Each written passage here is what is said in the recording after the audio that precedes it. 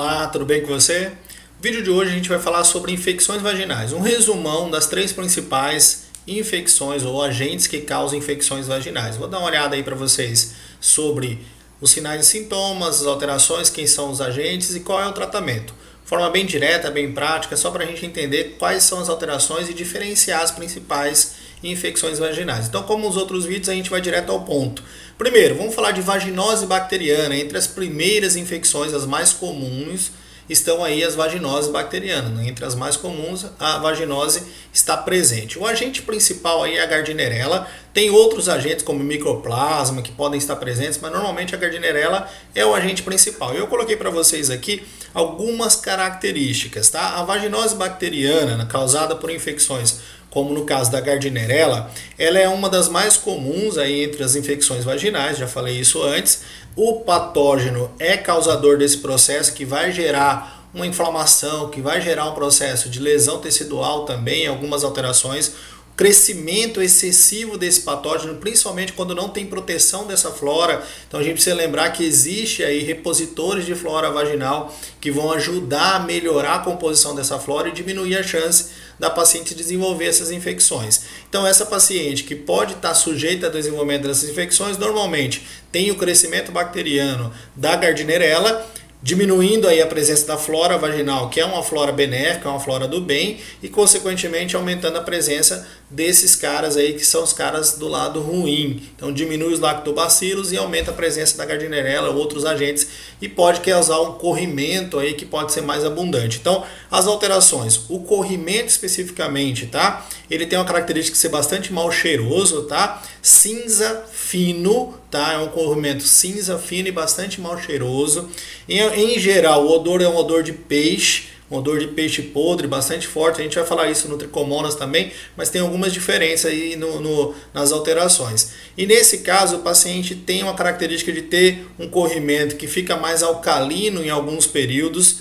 Relação sexual pode piorar o quadro e pode aumentar os sintomas. Durante a menstruação também ocorre plurido, irritação, edema e em alguns casos o edema é presente comum nesse tipo de alteração. Em outras mulheres não vai apresentar edema, mas ocorre geralmente o plurido ou a irritação do local. Então, resumindo a história, presença da Gardnerella, principalmente por alteração da microbiota ali na região, alteração da presença ou diminuição dos lactobacilos do bem e aumento da probabilidade de desenvolvimento da infecção. E nesse caso especificamente, a característica clínica do plurido né, e do processo da, das alterações inflamatórias, também de ter alterações relacionadas à modificação ali da região e causando, claro, a inflamação. Vamos falar um pouco do tratamento.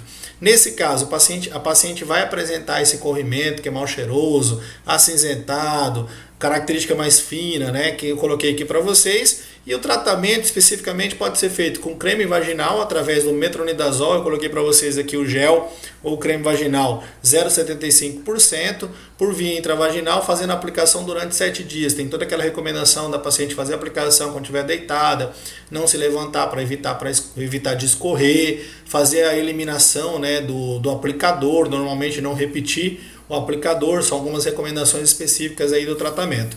Creme vaginal a 2% com clindamicina também poderia ser empregado, tá? Uma vez por dia, o creme vaginal sendo aplicado durante 7 dias. Então, metronidazol é uma opção, clindamicina é outra opção. São antimicrobianos que vão matar aí a bactéria causadora da infecção. E o metronidazol por via oral também pode ser empregado em quadros clínicos mais severos, 500 miligramas duas vezes por dia durante 7 dias ok? Então o paciente vai utilizar com essa recomendação e lembrando que a paciente que for utilizar metronidazol tem que lembrar que ele tem um efeito de sulfiram, então não pode ingerir bebida alcoólica durante esse período de tratamento, tem que ser uma recomendação importante e de preferência esperar pelo menos três dias após o final do tratamento com o comprimido para ingerir algum tipo de bebida alcoólica. Nesse caso, o creme vaginal não vai ter interferência, não vai causar efeito de sulfirã, mas os comprimidos podem causar sim esse efeito colateral. Então, resumindo aqui, vaginose bacteriana. Vamos falar do outro. Infecção por tricomonas. Tricomonas também muito presente, muito frequente aí, é uma das causas de ISTs, de infecções sexualmente transmissíveis, que estão mais presentes. Na maioria das vezes, o homem ele é assintomático, ele pode não apresentar sintoma, a mulher também pode ser assintomática, mas aí nesse caso o homem é mais comum, tá? É mais é, o tricomonas está presente no homem, mas pode ser mais comum que ele não apresente sintomas. E na mulher ele vai ter a manifesta ela vai ter a manifestação. O homem também pode ter a manifestação inflamatória e tal, mas hoje a gente está falando mais especificamente das infecções vaginais. E nesse caso, Tricomona, tricomonas vaginalis é um, um, parasita flagelado que é transmitido de forma sexual e atinge aí praticamente 20% das mulheres em idade reprodutiva, em idade fértil, em idade que tenha né, essa relação sexual com mais frequência. As mulheres podem apresentar alguns sintomas e aí entra uma característica do processo inflamatório e da presença de secreção também. Então, paciente pode ter, olha, eu coloquei para vocês, uma secreção vaginal bastante intensa, copiosa, tá? Amarelo, esverdeado e espumosa, então é diferente da vaginose, nesse caso ela é mais amarelada, esverdeada e pode ser espumosa. Tem um cheiro forte, um odor de peixe podre também, de peixe especificamente aí, e pode ter todo o processo inflamatório da região vaginal, da vulva, do períneo, alterações que são inflamatórias e causam incômodo. E disúria também, quando a paciente for fazer xixi, ela tem a sensação de ardência ou queimação daquela região ali, porque ela está bastante inflamada, tá? Coloquei para vocês aqui uma, um resumão de, das alterações, além de ter alterações de manchas vermelhas que podem aparecer lá, que a gente faria, falaria que seriam manchas é, framboesa, né, com a característica lá inflamatória, uretrite e, claro, em alguns casos pode ocorrer até cistite e outras alterações.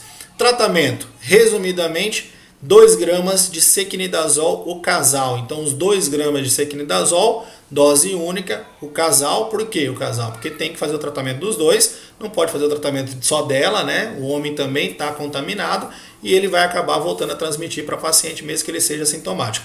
Então, o tratamento dos dois, 2 gramas de sequinidazol, normalmente soluciona o problema. Lembrando que sequinidazol causa aquela sensação de boca amarga, gosto metálico, algumas sensações de alterações que são um pouco ruins, mas tem que fazer o tratamento dessa forma, ok? Vamos falar do próximo.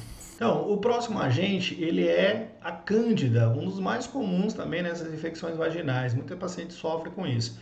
E que a gente precisa lembrar, cândida acontece de 15 a 20% nas mulheres de modo geral, e nas gestantes pode chegar de 20% a 40% durante o período gestacional, principalmente porque ocorre modificações com a presença de hormônios, né, na presença de agentes que podem facilitar, modificar o pH e, claro, o consumo de glicogênio e de outros fatores que podem alterar esse pH da flora e facilitar o crescimento da cândida. Então ela é muito comum muito frequente. Tem que lembrar aí de roupas apertadas que podem prejudicar também né, a troca de oxigênio, a região ali e, consequentemente, facilitar esse processo de desenvolvimento. E, claro, precisamos lembrar de pacientes que estão imunocomprometidas, pacientes que são diabéticas, que podem facilitar também o desenvolvimento frequente de candidíase e pacientes que estão utilizando antimicrobianos de amplo espectro que pode destruir a flora e facilitar o crescimento do fungo. Então, lembrar que o uso de antimicrobiano pode trazer sim malefícios, nesse caso facilitando o desenvolvimento da cândida e, claro, repositores de flora, tanto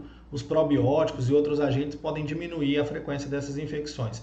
O agente é a Candida albicans e aí eu vou colocar os sinais e sintomas baseado principalmente em alterações que são de plurido, tá? Coloquei aqui uma, um resuminho para vocês, olha, queimação, tá? Irritação vaginal, é, alterações, né, que estão relacionadas a piora durante as relações e após as relações sexuais e tem um corrimento que normalmente é um corrimento esbranquiçado, né, que a gente caracteriza como corrimento de queijo cottage, é característico desse corrimento mais esbranquiçado. E aí eu coloquei para vocês aqui, olha, as irritações, o processo inflamatório da parede vaginal, né, as características de edema, de inflamação da vulva, que também pode acontecer, irritação desse processo, que pode piorar após as relações sexuais, durante a menstruação também, e isso são características comuns. Um sintoma ou um sinal que é muito frequente, claro, é o plurido e a presença desse corrimento que é mais esbranquiçado, que tem uma característica de não ter um cheiro tão forte como os outros que a gente já falou.